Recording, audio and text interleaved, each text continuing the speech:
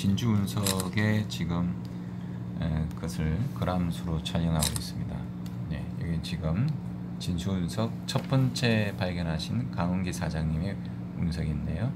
네, 141g짜리를 제가 손으로 만지면서 네, 그람을 확실하게 재고 있습니다. 네, 그리고 이제 포항 카보나드 다이아몬드는 이것이고 서로 비교해 볼 만하죠.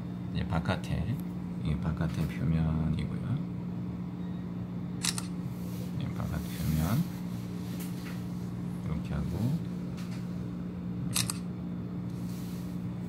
그리고 이제 앞 표면 자, 앞 표면도 한번 비교해 볼게요. 예, 아 여기는 이제 그 니켈 성분이 많고 니켈이나 다른 성분이 많은 거죠. 네, 이 정도입니다. 이상 포항 카본 다이몬드 냉동식품 부족수입니다.